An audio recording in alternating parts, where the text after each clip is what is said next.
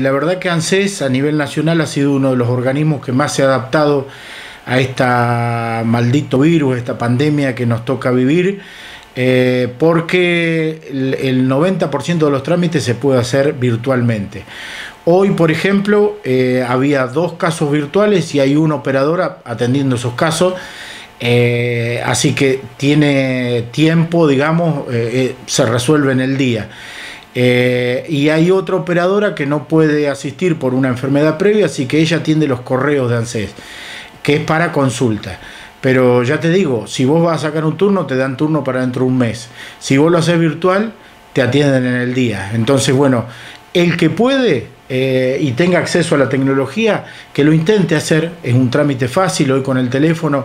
Eh, a través de la aplicación Mi ANSES a través de la aplicación Mi ANSES o directamente de la página de ANSES. Por ejemplo, eh, todo lo que es beca progresar va a través de la página de ANSES, porque de ahí lo deriva el Ministerio de Educación. En cambio, desde mi ANSES no te deriva. Entonces, esta fue una pequeña modificación que, tuvo en los últimos tiempos. Pero a través de la página de ANSES, vuelvo a decir, vos podés sacar un turno, poder ser atendido virtualmente.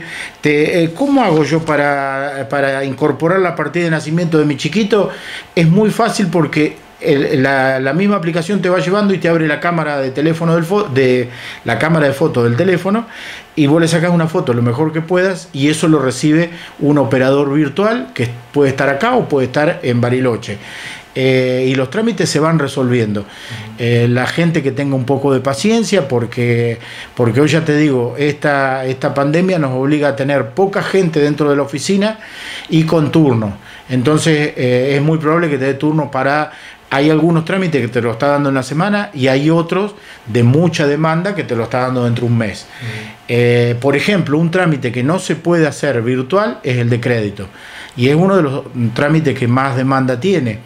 Nosotros estamos asignando seis turnos por día y créeme que eh, debemos estar trabajando más que un banco y ANSES no tiene ese, ese objetivo, digamos. Ni es el único trámite. Por eso te digo, porque nosotros atendemos eso, pero también atendemos eh, pensiones, jubilaciones, madre. Entonces, eh, hoy a ese turno, a ese ítem se le ha dado seis turnos por día.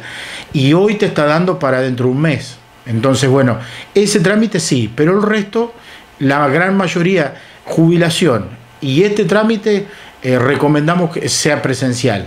El resto de los trámites puede ser virtual. Bien. Vamos a dos temas de consulta permanente. El primero tiene que ver con la asignación por escolaridad, algo que de alguna manera también se ha visto adecuado con modificaciones para este año. Sí, la asignación de, por escolaridad le corresponde a chicos de 4 años hasta 17. Después de los 17, si sigue estudiando, eh, hay otro programa que es el Progresar. Pero bueno, esta escolaridad este año se está pagando automáticamente. En este mes de marzo eh, ya debe estar eh, casi cumplimentada. Había dos o tres fechas, pero se hace automáticamente. La gente no tiene que hacer nada, no tiene que sacar turno, no tiene que venir a ANSES. Si alguien no cobró en marzo, ahí sí tiene que venir a visitarnos. Pero por ahora es automático y es masivo. Eh, nosotros no podemos saber, no tenemos un listado a quién se le pagó y a quién no.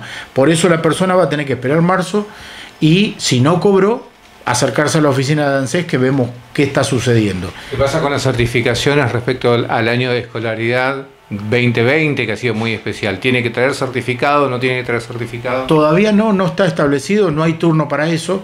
El año pasado se firmó un decreto ah, sobre fin de año que eh, eximía de la obligatoriedad de esa presentación. Creemos que este año, si esto continúa así, va a ser igual. Eh, así que todavía acá no tiene nada que hacer, que no se preocupe la gente, salvo que no lo esté cobrando. Si no lo está cobrando, que se acércanse o, o consulta el correo electrónico que, que, que, ya la gente está acostumbrada, este, y ahí le vamos a decir.